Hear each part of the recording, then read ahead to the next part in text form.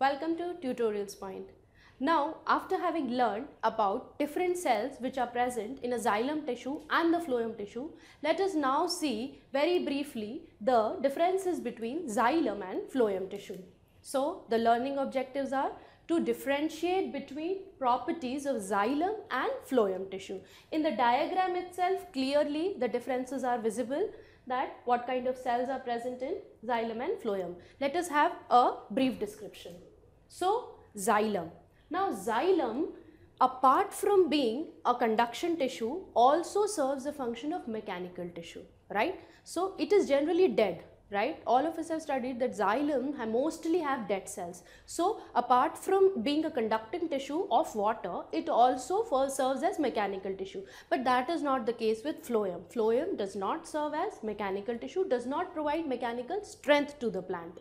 Now the next point, what does the xylem transport? Yes, water. What does the phloem transport? The food, the amino acid, the hormones, the biomolecules. Okay, now next, where is xylem found?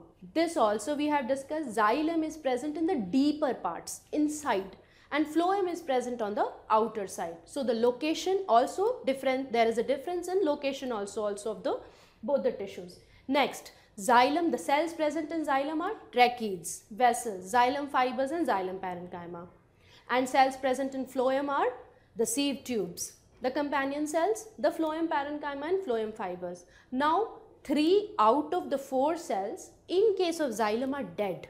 So, it is mostly a dead tissue.